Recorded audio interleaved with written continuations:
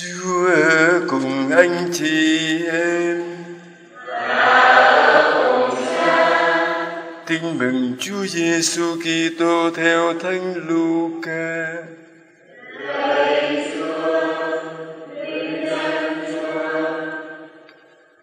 Khi ấy Chúa Giêsu phán cùng các môn đệ rằng: Thầy bảo các con đang nghe thầy đây, các con hãy yêu kẻ thù, hãy làm ơn cho những kẻ ghét mình, hãy chúc phúc cho những kẻ nguyền rủa mình, hãy cầu nguyện cho những kẻ vu khống mình. Ai vả má con bên này thì đưa cả má bên kia, ai lột áo ngoài của con thì con cũng đừng cản nó lấy áo trong. Ai xin thì con hãy cho và ai lấy gì của con thì đừng đòi lại.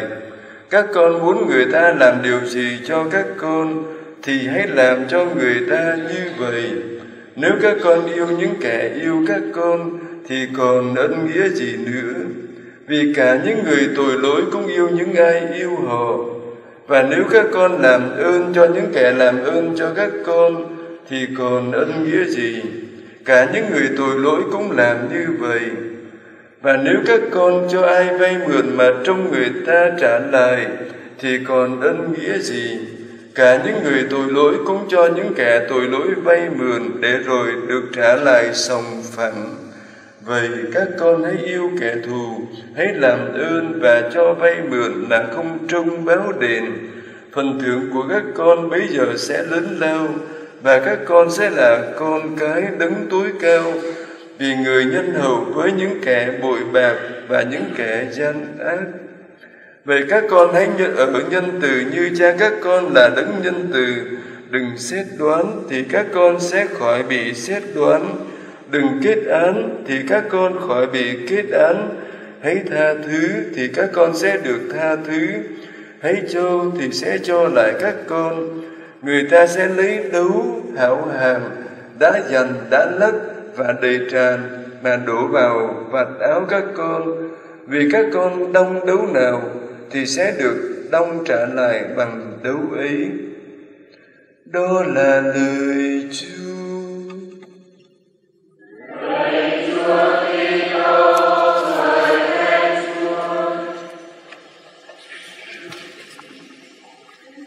Anh chị em thân mến, một câu chuyện cảm động về một bác sĩ kia khi vừa nhận được cú điện thoại thì vội vã tới bệnh viện. Ông khoác bồi trang phục phẫu, phẫu thuật và tiến ngay tới phòng mổ. Lúc đó người cha của cậu bé sắp sửa phẫu thuật đang ngồi đợi tại cửa phòng. Vừa nhìn thấy bác bác sĩ bước vào thì người cha nói ngay Tại sao giờ này ông mới đến? Ông không hay biết con trai tôi rất nguy kịch hay sao? Thực lòng ông có trách nhiệm nghề nghiệp hay không? Và bác sĩ bình tĩnh trả lời, Xin lỗi, Ca này không phải là ca trực của tôi, Nên tôi không có mặt tại bệnh viện. Thế nhưng khi vừa nhận được điện báo thì tôi đến ngay. Và lúc này tôi muốn tĩnh tâm một chút Để chuẩn bị phẫu thuật. Người cha dần giữ tĩnh tâm à Giả như con ông nằm trong phòng cấp cứu Thì ông có tỉnh tâm được không? Nếu như con ông sắp chết, Ông sẽ làm gì? Vị bác sĩ mỉm cười trả lời, Tôi sẽ nói Điều ông Giót đã làm trong kinh thánh. Thân tần truồng sinh ra từ bụi đất, Tôi sẽ trở về bụi đất cũng trần truồng. Chúa đã sinh ra, Chúa lại lấy đi. Xin chúc tùng Chúa. Nhưng ông nhớ cho bác sĩ không có khả năng giữ mạng sống được đâu. Ông hãy đi và cầu nguyện cho con trai ông. Chúng ta sẽ nỗ lực hết mình và kể trông vào ơn của Chúa. Người cha phàn nàn, khuyên lơn người khác, khi mà mình chẳng dính dáng gì đến thì là chuyện dễ thôi. Thế rồi cửa phòng phẫu thuật đóng lại, vì bác sĩ miệt mài vài tiếng trong phòng mổ và sau đó ông rời khỏi phòng phẫu thuật trong niềm hạnh phúc cảm tạ chúa, con trai ông đã được cứu rồi nếu muốn biết thêm chi tiết thì hãy hỏi cô y tá vừa giúp tôi mổ cho con trai ông. Rồi sau đó không nghe câu trả lời của người cha vị bác sĩ tiến ra cửa và rời khỏi bệnh viện ngay. Khi thấy cô y tá bước ra, người cha nói ngay, không biết người chi mà cao ngạo đến như thế, thậm chí ông ta không thèm dành vài giây để cho tôi biết tình trạng của con trai tôi như thế nào lúc đó cô y tá cúi xuống, nước mắt lưng tròng và chậm rãi trả lời người cha nóng nảy đó, con trai duy nhất của bác sĩ, mới qua đời tối hôm qua, do một tai nạn. Hôm nay bác sĩ đang lo, đám tang lo hậu sự cho cậu ấy. Khi mà nhận được tin, được điện báo để đến phẫu thuật thì ông đã dẹp cái chuyện, con trai của mình qua một bên để đến đây phẫu thuật cho con trai của ông. Bây giờ thì ông bác sĩ trở về để tiếp tục lo cho đứa con trai. Cái chuyện tang sự của nó, câu chuyện thật cảm động. Và nhắc chúng ta cái lời Chúa dạy, đừng kết án ai vì bạn không biết cuộc sống của họ đang như thế nào và điều gì đang diễn ra trong tâm hồn của họ. Chúa dạy những lời mới nghe thì thật là khó hiểu khó chấp nhận. Hãy yêu kẻ thù, hãy làm ơn cho những kẻ ghét mình, hãy chúc phúc cho những kẻ nguyền rủa mình, hãy cầu nguyện cho những kẻ vu khống mình. Thế nhưng trong bài đọc một, chúng ta đã nghe thấy cách ứng xử của vua david cũng là cái lời giải thích cho cái giới răn mà Chúa đã dạy chúng ta giới răn yêu thương, yêu cả kẻ thù của mình. Trong bài đồng một chúng ta đã nghe thấy kể lại câu chuyện vua Sao Lê cùng với ba ngàn binh sĩ đi xuống hoang địa để vây bắt David.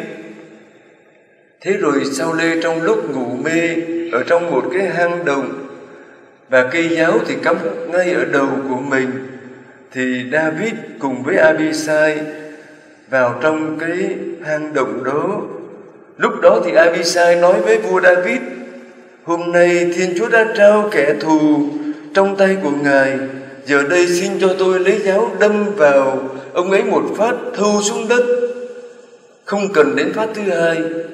Thế nhưng David nói với Abisai Đừng giết Ngài Vì có ai trong chúng ta được phép đưa tay phạm đến đấng Chúa đã sức giàu mà vô tội không? Rồi David lấy cây giáo và bình nước ở phía đầu David, xin lỗi phía đầu Salomon và cả hai đi ra.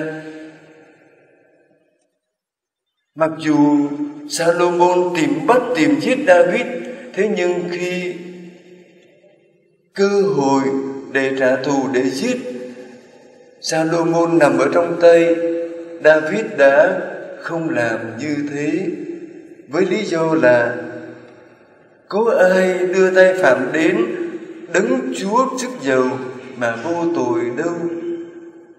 Cũng như thế, mỗi khi chúng ta xúc phạm đến một ai khác, thì đừng quên cái người mà chúng ta xúc phạm đến là người đã được sức giàu, đã được gọi thiên chúa là cha. Dù cho người đó có tội lỗi nặng đến đâu đi chăng nữa, cái quyền xét xử không phải là của ta, là của thiên chúa mà thôi. Và cho dù người đó có bất xứng đến đâu đi chăng nữa, có gian ác đến đâu đi chăng nữa, đừng quên rằng chính chúa đã chết cho người đó được sống vậy thì khi chúng ta xúc phạm đến một ai, chúng ta xúc phạm đến cái người mà chúa đã chết để cho người đó được sống và như vậy chúng ta đã xúc phạm đến chính Chúa rồi. Trong bài đọc 2 chúng ta nghe thấy về một người của thiên giới và một người của địa giới. Chúng ta, trong người chúng ta vừa là con của Thiên Chúa nhưng cũng vừa là con của trần tục này. Và đó là một cuộc chiến liên lỉ để làm chi? Để rồi nếu chúng ta để cho con người con của chúa trong chúng ta được sống thì con người của trần tục trong chúng ta phải chết đi. Và khi đó chúng ta sẽ có được sự sống của Chúa và có được sự sống đời đời. Mỗi người chúng ta xét mình lại, nếu chúng ta cho mình là người đạo đức thì chúng ta phải làm như Chúa đã làm, làm cái điều Chúa dạy, hãy chịu đựng và tha thứ cho nhau. Nếu trong anh em người này có điều chi phải trách móc người kia, Chúa đã tha thứ cho anh em thì anh em cũng hãy tha thứ cho nhau. Còn nếu chúng ta thấy mình là một người tội lỗi thì chúng ta càng phải tha thứ cho người khác. Tại sao vậy? Bởi vì khi bạn xét đoán người khác mà bạn cũng làm như họ, thì bạn tự kết án chính mình. Nếu chúng ta là một người tốt lành, thì hãy sống tốt là tha thứ cho người khác. Nếu chúng ta là một người thấy mình có nhiều tội lỗi, thì chúng ta càng phải tha thứ cho người khác đừng kết án, các con khỏi bị kết án hãy tha thứ, thì các con sẽ được tha thứ những lời Chúa dạy mới nghe thật là ngược tay nhưng lại là những điều phải có khi chúng ta muốn trở nên con của Thiên Chúa. Các con hãy yêu kẻ thù, hãy làm ơn cho những kẻ ghét mình, hãy chúc phúc cho những kẻ nguyền rủa mình, hãy cầu nguyện cho những kẻ vu khống mình. Đó là những điều Chúa thực hiện và là những điều chúng ta là con Chúa cũng phải sống Amen.